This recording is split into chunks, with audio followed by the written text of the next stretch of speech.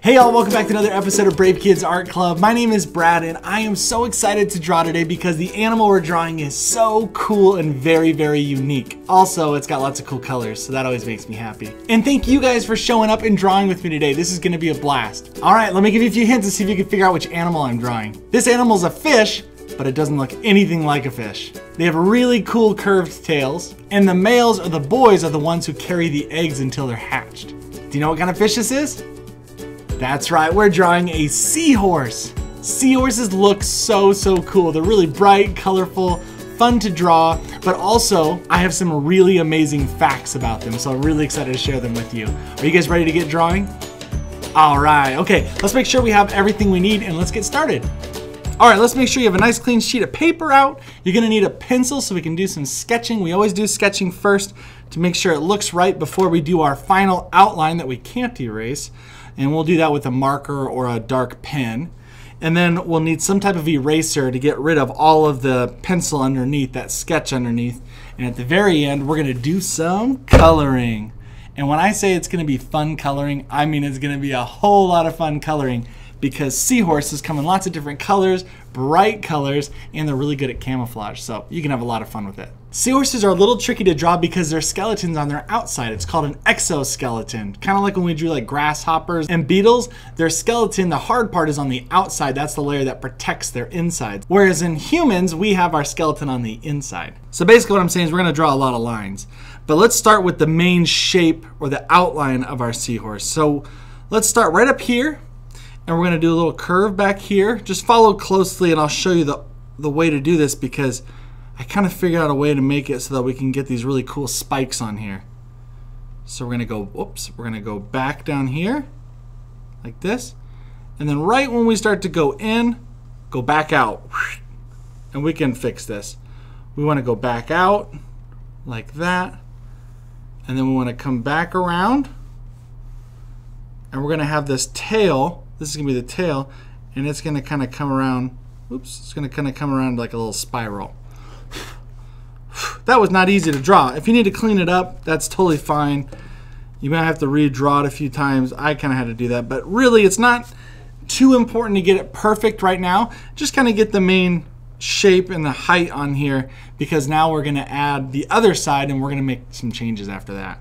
So let's start with maybe right about, right about here. And we're gonna come out. We're gonna kind of follow what we did over here, but we're gonna give it more of a belly.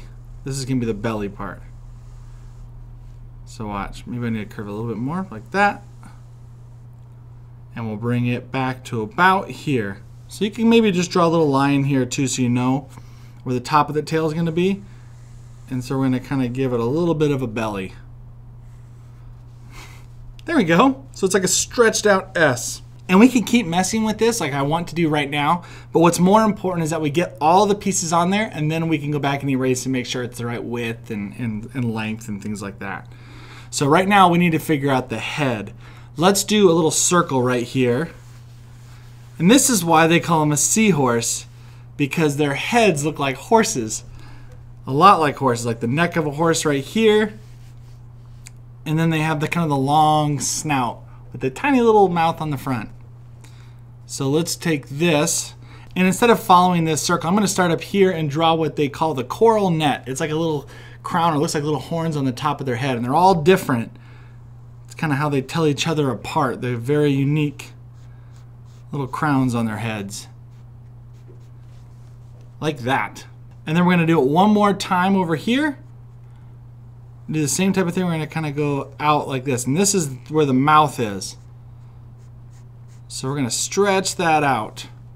See how it can kind of look like a horse? It almost looks like a chess piece, the knight on a chess piece if you play chess. My son loves chess. But there we go. And then let's go, maybe we can keep that circle on the bottom.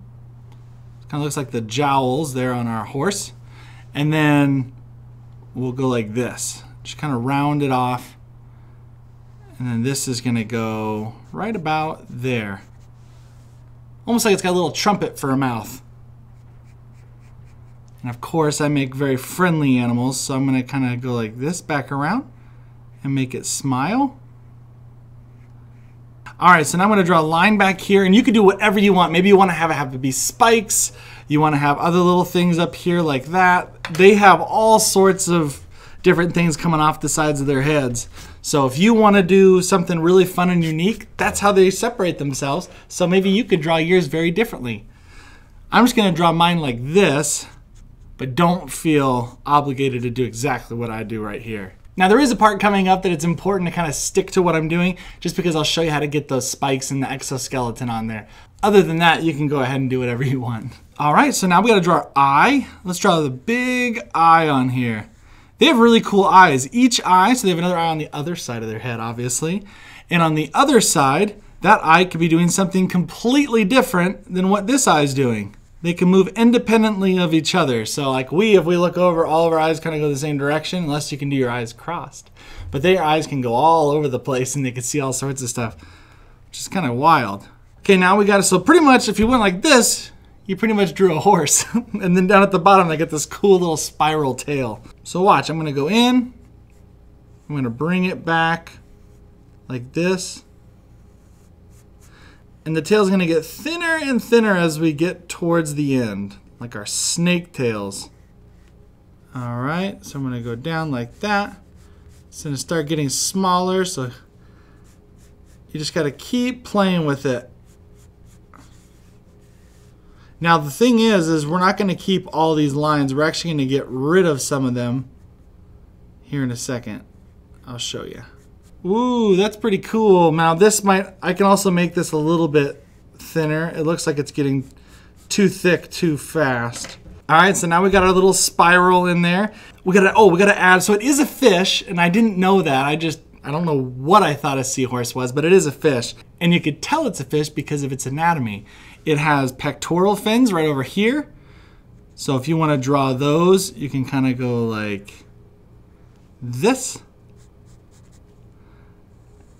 And you can kind of add that right there. You can also add another little thing here because they have gills. We'll draw little lines right there.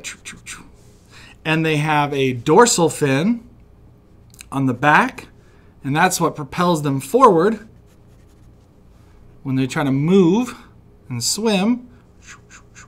We'll draw a little, little squiggly line on there. And then we'll draw the little lines. And we'll go over those more with our, our pen. So that's how it moves around, that's how it steers.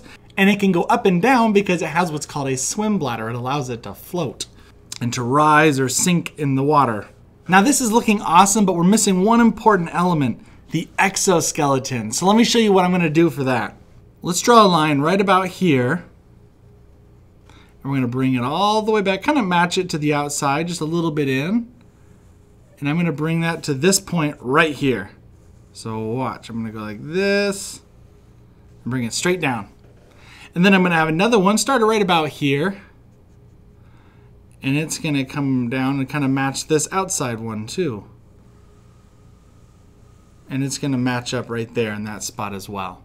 And from there, we're gonna start drawing our lines. Now these lines are really important, one, because that's what it looks like, but two, it'll help you get the spikes right on the back. Okay, so here's my technique for drawing spikes. Just a little, draw the lines a little bit past there. We're gonna start drawing lines like this. We're gonna have them go out. Draw some more lines. And we can do that over here too, it's okay. Just have them go a little bit. That's where we want to do the spikes on the back. So we'll have those go a little bit longer. And then we'll draw one right there. And then on this end, we can keep doing that down here on the tail. It makes it a little easier. But remember, as it starts to go down towards the end of the tail, you can start curving them as well to kind of keep going towards the center. So this is what I do now. I just go and do little U shapes and connect them all. Like this. Isn't that easy? That way you know now where everything goes and all the lines will match up with the points of the spikes.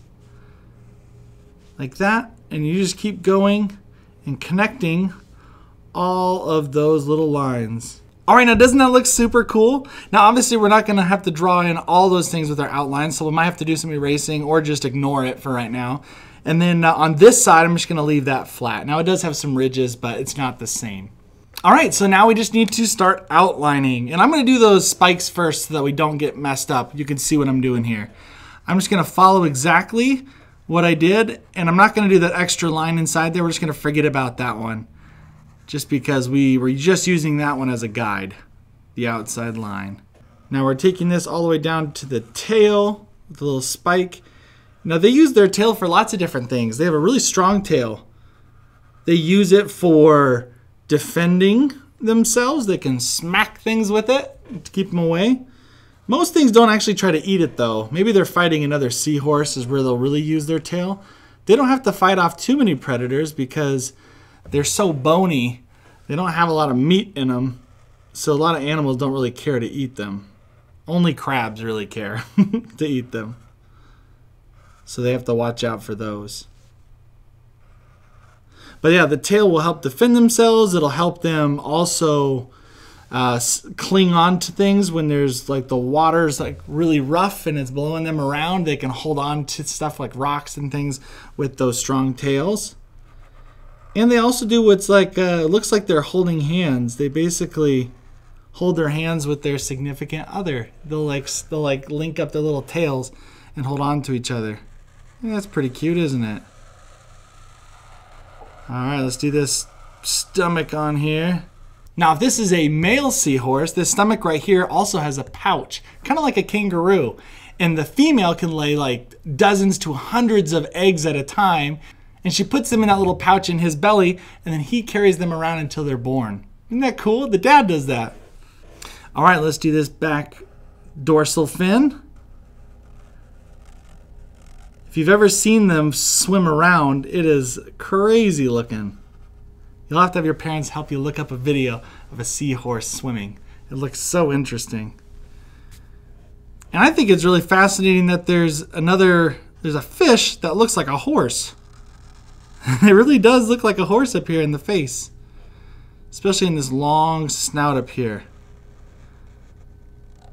And it might be long and, and really tiny, but it eats a lot of food. It eats all the time. Its digestive system, that means the way that your food goes in your belly through your intestines and comes out after you go to the bathroom, how fast it comes out of your body. It comes out of their body very, very fast. So they have to keep eating to keep their energy.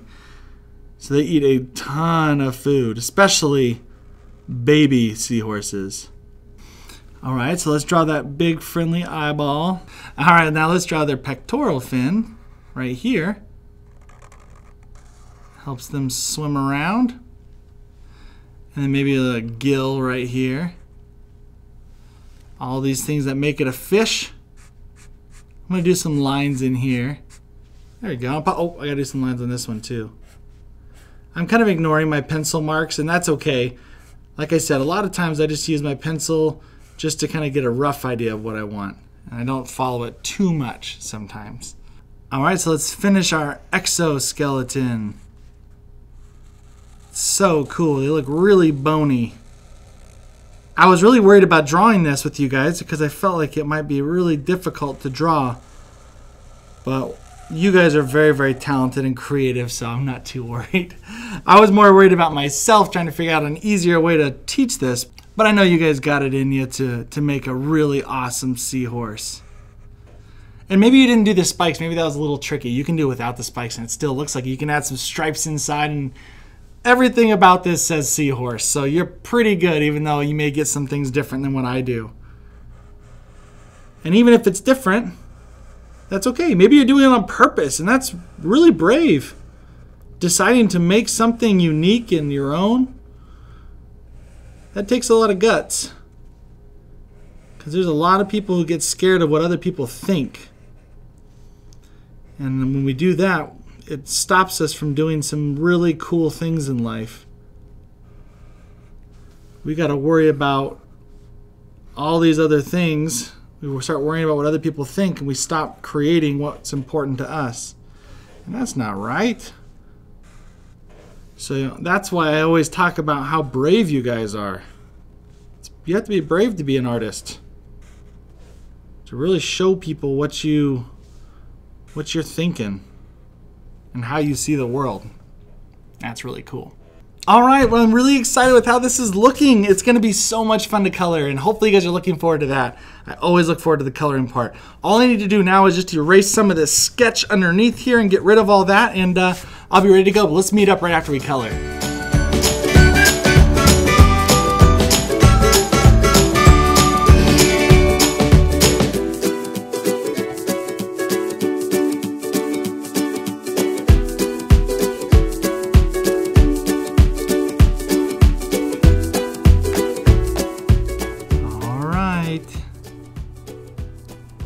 Seahorse is finished! Now they're known for their camouflage capabilities and I'm not sure how much this color would help them um, out there in the wild, but uh, regardless, it was really fun to draw and I think I've come up with a name for him. His name's gonna be Clyde. I like the name Clyde. Clyde the seahorse. And I'm really proud of how he turned out, so I need to sign my name on it so everybody knows that this is my drawing and I'm proud of it. Put my initials right there and we'll call this done. Well, as always, I appreciate you guys drawing with me. It's the highlight of my day. Remember, we do this Monday through Friday, so feel free to subscribe to the channel. And if you enjoyed this video, please give it a like so that I can keep doing more videos just like this. And of course, I would love to see what you guys are creating. I would love to see your seahorse. So tell your parents to go on Instagram and just tag us at Brave Kids Art Club. That way I get a chance to see your amazing work. And speaking of amazing work, stick around to the very, very end because I'm gonna show some of your work that you guys have submitted to me and it's amazing. So I wanna show that off, stick around. But before I go, remember, be brave, be creative, and most importantly, be you. All right, we'll see you guys. Before you guys go, I wanted to show off some of your work, so stick around and see if yours is in here. Thanks guys, you guys are awesome.